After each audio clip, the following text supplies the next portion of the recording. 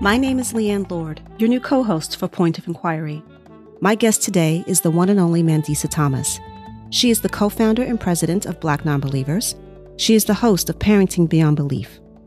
In 2018, she was named Person of the Year by the Unitarian Universalist Humanist Association. In 2019, the Secular Student Alliance presented her with its Backbone Award. In this interview, we talked about how in 11 years, Black Nonbelievers has grown and spread across the country and why it's an important safe space and not just for people of color. She shares what motivates and keeps her focused as a leader in the secular community and how she navigates the intersections of being an atheist woman of color and where the blind spots are for all of us.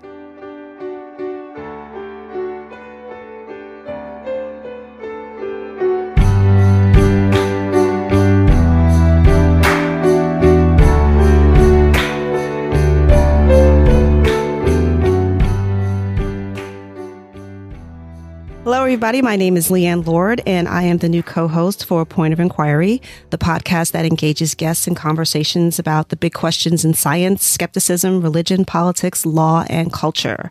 My guest today is the one and only Mandisa Thomas. She is the co-founder and president of Black Nonbelievers. She is the host of Parenting Beyond Belief. In 2018, she was named the Person of the Year by the Unitarian Universalist Humanist Association.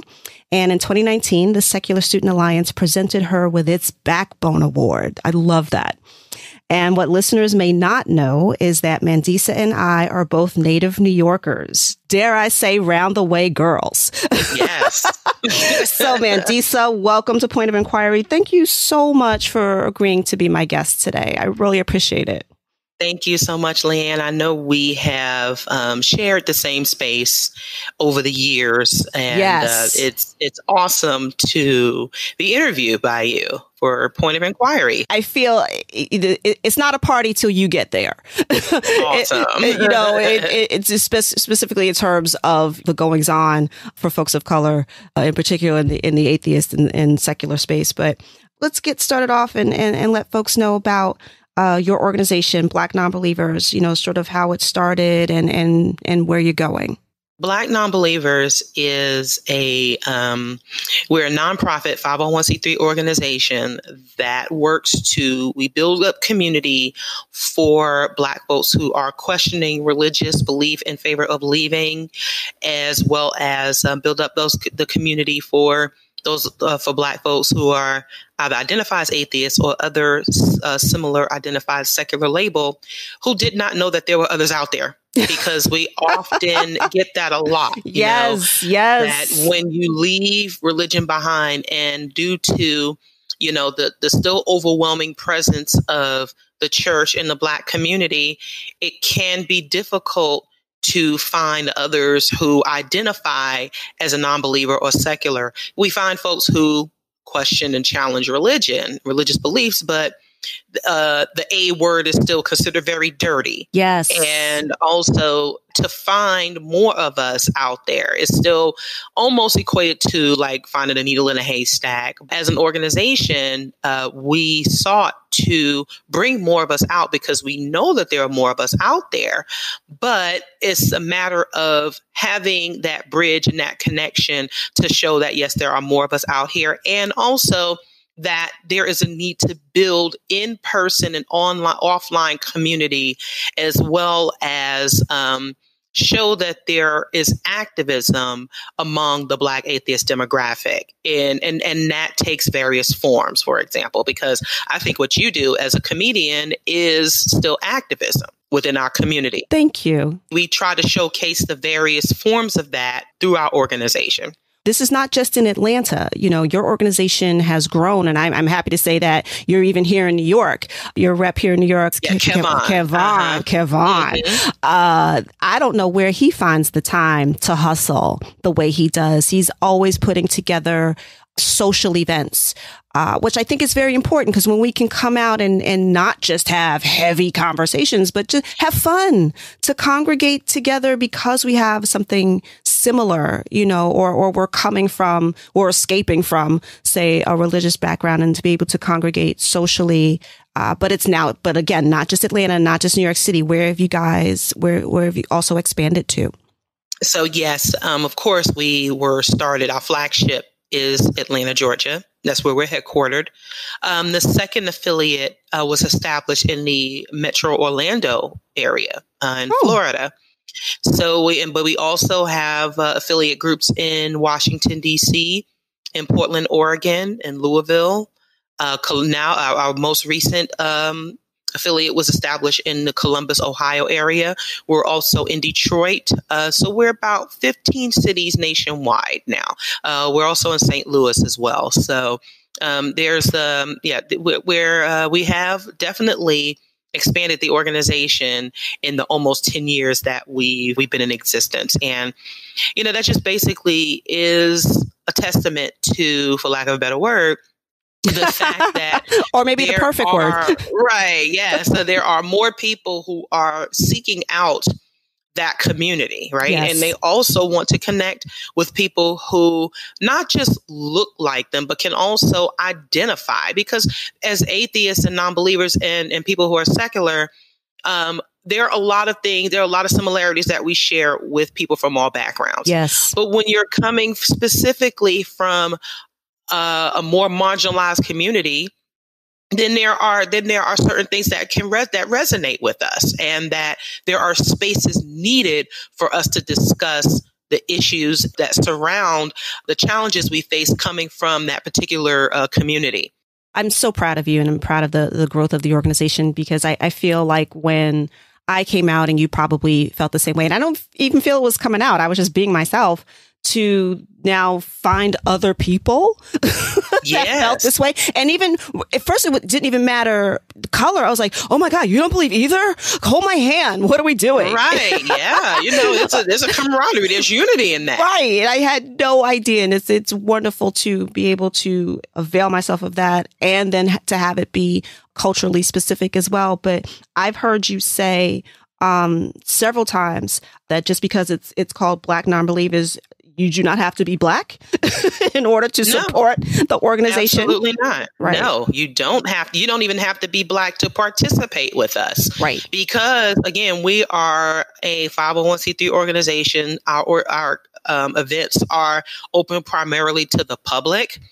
Um, we do set guidelines though for those who are non-black or who are non-POC. Is that this is not your space to center yourself. There are plenty of spaces for you know, for the majority okay. of, of, atheists who are represented, you know, and that's totally fine. But yes, um, we have been asked previously, you may have gotten this too, Leighann, about, you know, why is there, you know, lack of diversity? Where are all the people of color? Where are the black folks? Where are the women? Yet when we give these answers, there, there are these, there are these institutional thoughts and practices within certain organizations that keep people of color from, you know, from consistently participating. Yes. This was also another focus of the organization was to again try to build those bridges and uh, form collaborations uh, and to show that yes um, if this is something that if diversity and inclusion and um, and wanting to um, hear from a variety of voices that include more people of color then uh, it's important to to show to contribute and support to the organizations like Black Nonbelievers and others that are dedicated to doing this work. The atheist community is once again a microcosm of the wider wider culture. We need to be raise our voices and be seen. I kind of see you as as you sort of embody for me. You're you are literally being the change you want to see. Yes, that, uh, I appreciate that. You could have just done not uh, black nonbelievers and stayed just been in Atlanta, you know, and done your own thing, but you made sure to do that outreach. But even more than that, you are in uh, an integral part of the atheist community. There are other organizations that that you are a member of. Can you can you talk about that? I am a member of both American Atheists and the American Humanist Association. Mm-hmm. I serve on both of those boards as well.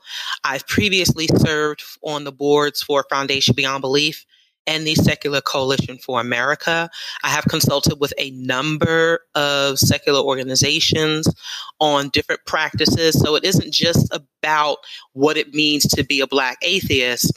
I've also um, consulted on how organizations and leaders can better improve their efforts for outreach and also on how to improve their diversity and inclusion efforts. And so, and, and I like to say that I do that from a more practical standpoint because my, um, my career background is in hospitality. So I've engaged a lot of people during the course of my, um, my career and being able to manage people as well. There's a lot of intellectualism in our community. There's a lot of folks who pride themselves on how many books they've read and how smart they are, which there's nothing wrong with that. No. But to be quite honest, the people skills are lacking. They are absolutely horrible because it's like you're talking at folks and not to them. And that has become a serious problem. Um, and, and even in looking into religious communities, even though the texts are completely horrible, they are a horrible reason to bond these communities together. They have certain social practices in place that are keeping, that are sustaining them. And there's nothing wrong with uh, and, and, they don't own that. They don't own this idea that you have to be religious in order to be good, that you have to be religious in order to be nice and to care about people. And I know this is something that has been a focus of the community in the past few years on improving, but it definitely needs to improve a whole lot more. Oh, we have stories yes, yes, we do. and I and I have heard you uh, speak on this, and you managed to do so both directly and eloquently. Because uh, unfortunately, and and I fall prey to this as well, because I like to think that I'm smart and I like to think that I'm well read. But if you are unable to how shall I say communicate that if you're if you're unable to uh, have those practical skills that you talk about, um, then we're not going to advance uh, collectively. If I am paraphrasing you, uh, yes, correctly. absolutely. I, I, know that that one of the things, at least from on my end, as it's come up, you know, when I, I you've seen me, you know, MC at, at various conferences, and the question is always, you know, are we going to do a Q and A? and everybody starts wringing their hands like, oh, that's not a good idea because it's mm-hmm. understood that someone will get up and, and 10 minutes of their question will be their resume. yes. like why they sort of have the background and educational fortitude to ask this question. And it's like, ain't nobody got no time for that. One thing I found too is that during the Q and A uh, portions, uh, some of the questions will be centered around something that is completely irrelevant. Oh, yes. To the conversation or to the, to the presentation. And it often centers a point of view that does not reflect the presenter. Right. And so it's always about, well, what about? Or have you considered this person? And it's it's just like, oh gosh, can we can we please not do that? you know can it can it please not be that you're veering away from the subject at hand or even the person at hand, because that to me is an indicator that you weren't really listening. Weren't really listening. listening. Yeah, you were listening only to respond and to try to, you know, and try to get your point of view out there that you weren't really taking in the information. I want to say that is a delightful human failing across the mm-hmm. board. You know, not just our community. I think our community is particularly susceptible to it because we're so freaking smart. Right. Right. it's like we are too we're too smart for the room. And so I think one of the things, again, as you said, that we can all work on and would improve the community are those core listening skills, like just truly active listening so that you can really have a good question when, when, something honestly challenges you and not just as a, as an exhibition of your knowledge you know, because I'm whenever I go to a conference, I'm assuming if you're in the room, it's because you want to be here. I think this this leads me to something I wanted to talk to you about, which is I guess the intersection of of being black and female and atheist, and if you could just tell me how easy that's been for you. Who? I mean, just a breeze, right? You just you Is make that a trick question? yeah, absolutely a trick question. Yeah, because it, it not easy. I mean, first of all, being an atheist, not not none of these things on their own by themselves are easy. Right. You know, and we have the audacity to step into the world and be three. You might as well throw in left-handed, right, for the extra bonus challenge. But you seem to, and and maybe this is me looking from the outside and being a bit of a fangirl of you. You seem to navigate this well and I'm I'm not saying it is effortless. I'm not saying that. Right. But you you you get behind the wheel and you're driving. So I think what has helped is my upbringing as a New Yorker. I think that has helped yes. tremendously because when you're from New York and I'm from the hood of New York, right? Um, there are certain there are certain characteristics and certain strengths that you have to develop along with what I have learned as far as education and an experience in my experiences. But I will tell you what it has been like. It is it is to constantly be bombarded and to for people to either inadvertently or even overtly remind you that your experience somehow is to be diminished because you're either not a male or you're not white. And we get this from we get this from other people of color too. We get this from other black folks, you know, the ones who challenge the overall system and institutions of, you know, white supremacy and uh, the representation. But ultimately, the underlying support still lies with them. And somehow that, you know, my existence as you know, a black atheist woman who has become a leader and someone who has been more recognized in this community is to still be diminished and still not to receive the support that I know is needed. And that is almost a constant reminder in these spaces. I didn't get into this community to just boost myself up. Um, I didn't get in this community to be as recognized as I am now. I do appreciate that. I appreciate all of the recognition that has come with the work. Um, however, the, this work has been not been to just, um, you know, boost myself up. It is because there are folks who need us. There are folks who need um, to know that our organization exists, they need to know that there is a leader who will communicate and talk with them and not at them. And to know that they, there is support and care for um, that that comes from us. And there's something that there there is something that we provide in a way that some other organizations don't. And um, I'm, I'm i'm unapologetic about that. So having to keep that focus and our mission in mind has been difficult at times because there are some folks who will actually blatantly act like they can do this so much better than you or they, they can do they can do it so much better than me. And you know what? I say hey be my guest because this this takes work and it takes a team effort uh, to you know to to continue to maintain these spaces that are you know these community building spaces. Um, but to constantly have that reminder, or, you know, if we aren't being um, you know if we aren't being objectified in some way if you know as as women you know if, if we can't if, you know if if we if we can't um if we don't respond to that then we're being ridiculed, right? It's amazing how you can go from being a queen to a bee in a matter of seconds. Seconds. You know, simply because you don't do something in a way that someone wants you to. And so that has just been an ongoing that that has just been so ongoing so we we deal with a whole bunch of uh still societal stigmas that even though people have let go of religion and the God concept, there's other baggage that people still bring with them and they still hold on to it. And, and when you try to tell them that this is a bad thing to do, they will fight you. it's like they will they will fight you tooth and nail. Within the community, we still bring our very human baggage and we haven't thought our way out of it. Is not what you're saying. Uh, yeah, there are some things that people have not thought their way out of.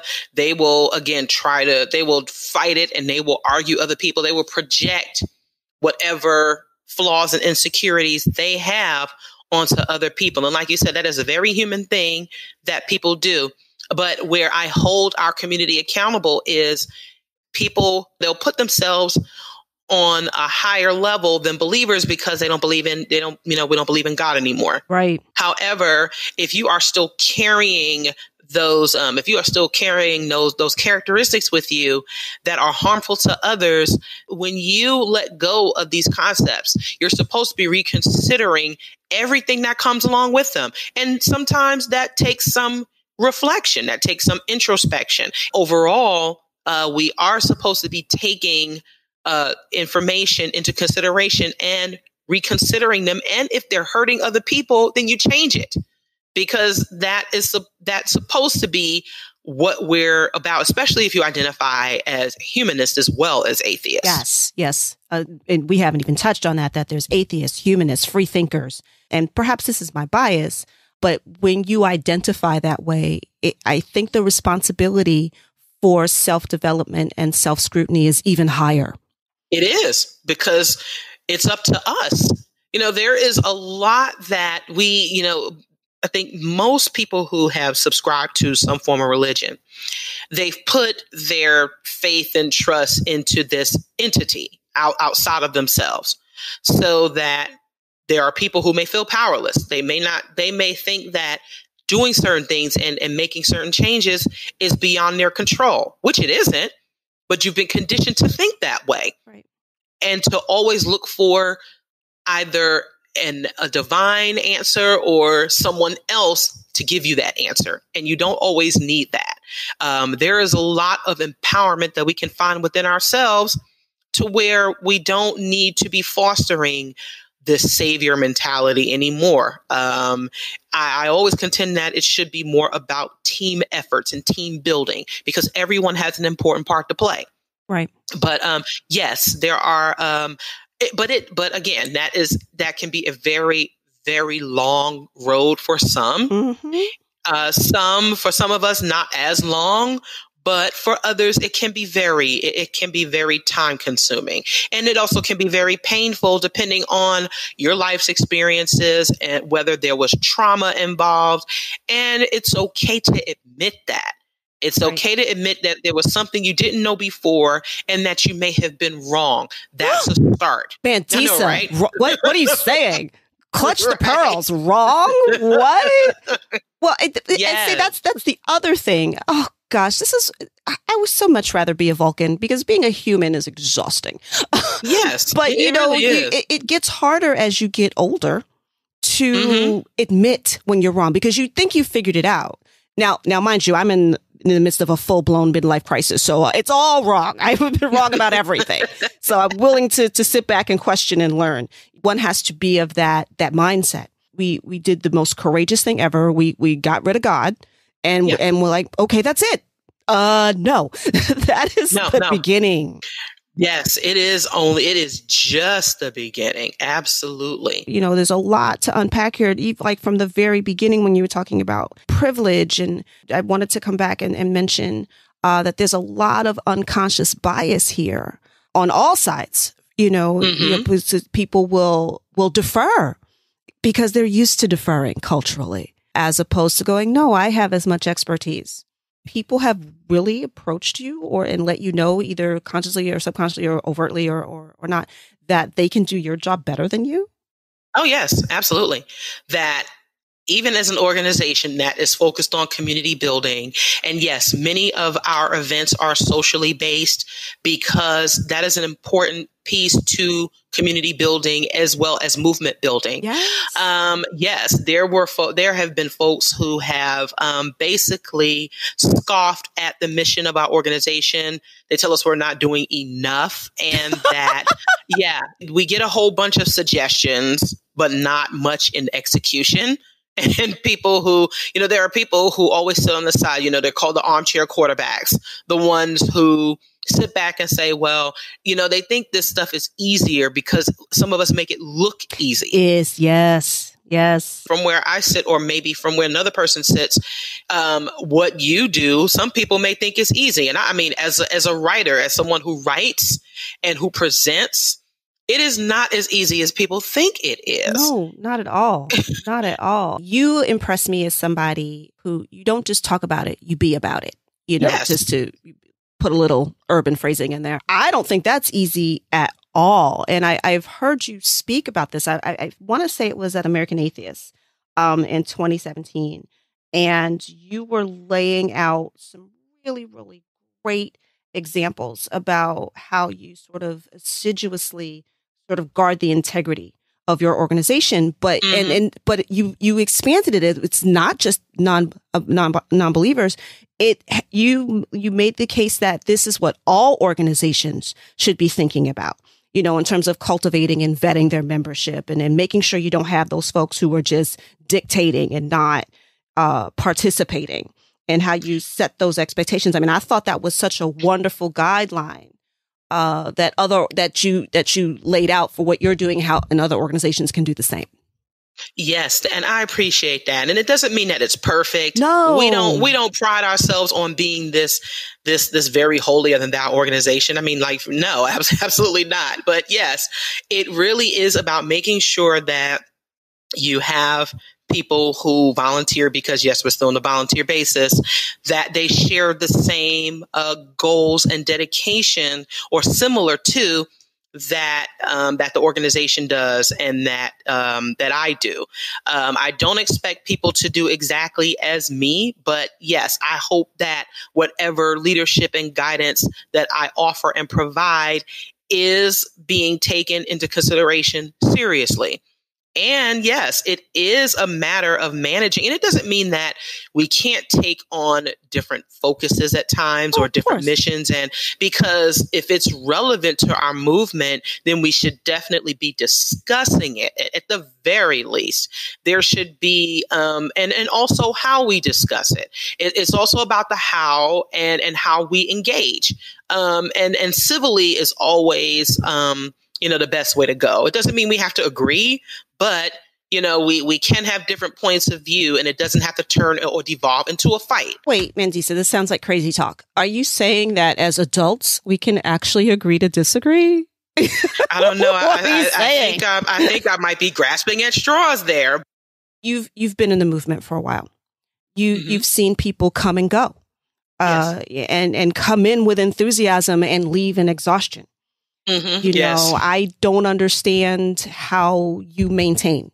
It's easy for people as they get more passionate about this to get mm-hmm. even more discouraged. What has helped you not pick up your toys and go home? You you kind of answered that a little bit because you actually have a goal. You have a, a bigger goal than just yourself. You know, it's not just personality right. but community. But for you personally, what do you yes. do? Um, I I will cuss, I will cry when I have to. I will do all of the things that I need to, to to be, you know, when I am when I am very frustrated, I'm very honest with myself about it. I, I try not to hold anything back. But when you when I have established because this is basically my baby, right? This is mm-hmm. this is something that I'm growing. And just like with children, you don't give up you know you have to you have to acknowledge that there are things that will go wrong there are there are going to be people who will come against you but in the course of developing the organization and constantly reevaluating myself even though i tend to do i'm very very hard on myself when it comes to um, how I do things, because even times I, there are times where I feel like I'm not doing enough, and as if as women we don't put that pressure on oh, ourselves already, yes. right? But um, what keeps me going is again the people who I have met because there have been there are a lot of wonderful people in this community that I have come to know and and love. And that has been you know a result of me going to different organ you know different spaces and actually getting to know the people involved and the work that they do and it's all very very important at the end of the day and knowing that I'm not the only one who is going through this. They have been able to be more comfortable in their expression and their non belief, whether they fully identify as atheists, and, and the fact that we have connected so many people together. There are a number of people who have found longer lasting connections as a result of our organization existing and all, not just existing, but also being that, that, that go to for a number of people.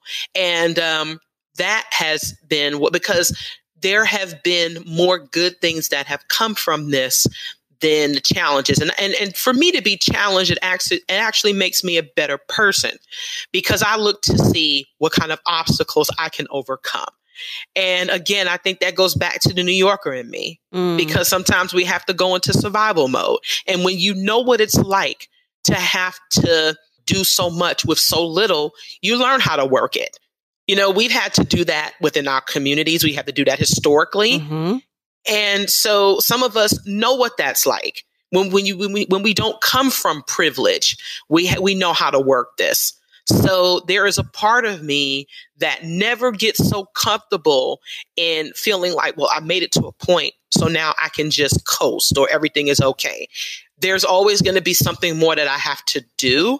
And even though I do have to take time to, you know, kind of sit back and reprioritize myself, there's always the work that needs to be done.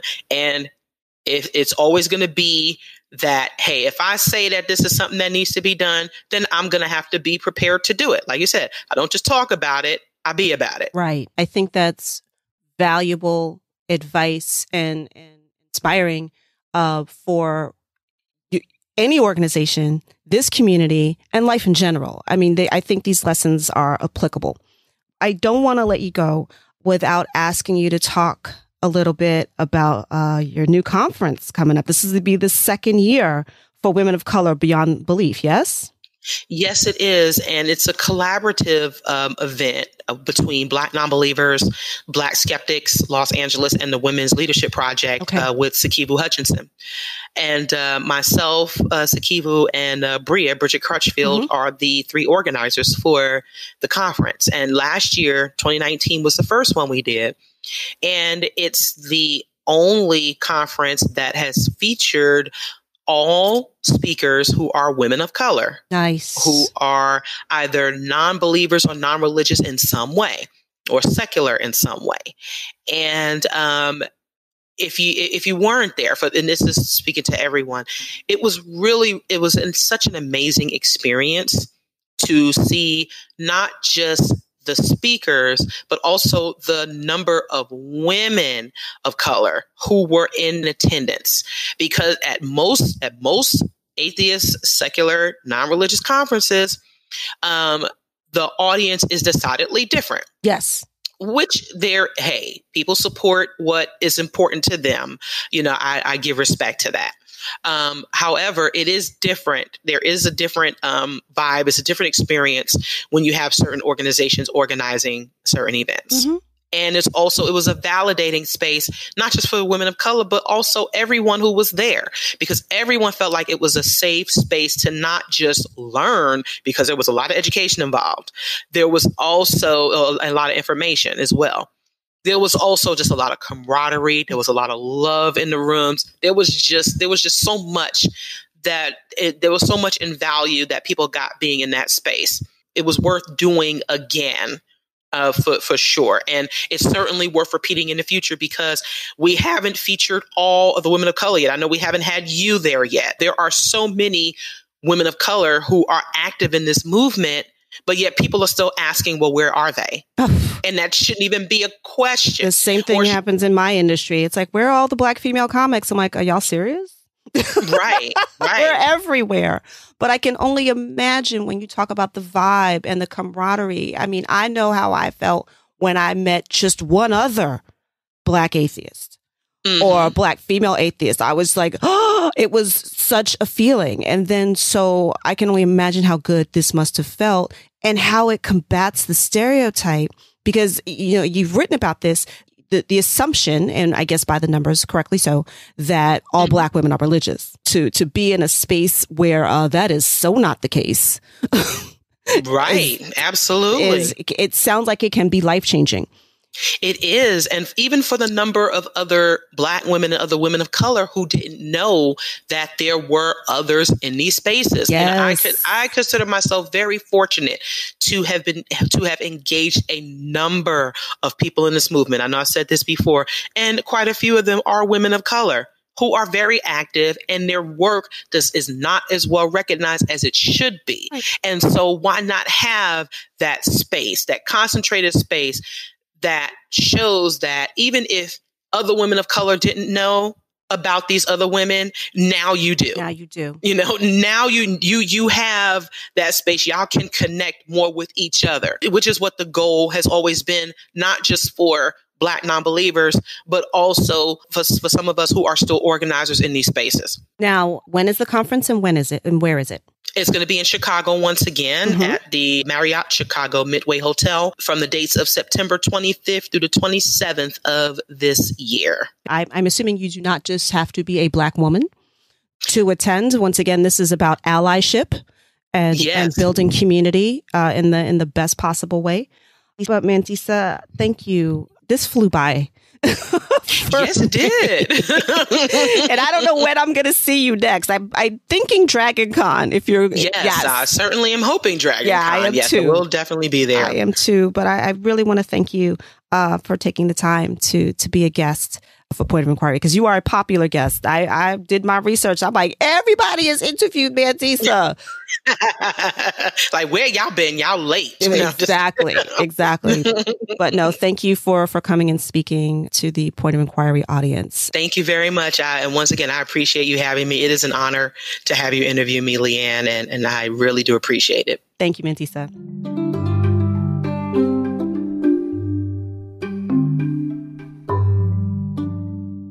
Thank you for listening. Point of Inquiry is a production of the Center for Inquiry. CFI is a 501c3 charitable nonprofit organization whose vision is a world in which evidence, science, and compassion, rather than superstition, pseudoscience, or prejudice, guide public policy. Do you care about science and skepticism? Then please do share this episode to help spread the word about POI and the topics we discussed today. You can visit us at pointofinquiry.org. There you can listen to all of the past POI episodes dating back to 2005 and support the show and CFI's nonprofit advocacy work by clicking on the support button on the site. Please also remember to subscribe. We're available on iTunes, Google Play, Spotify, and your favorite podcast app of choice. While there, please be sure to leave us a review, as every review we receive means a ton. Thanks for listening, and talk to you again in two weeks.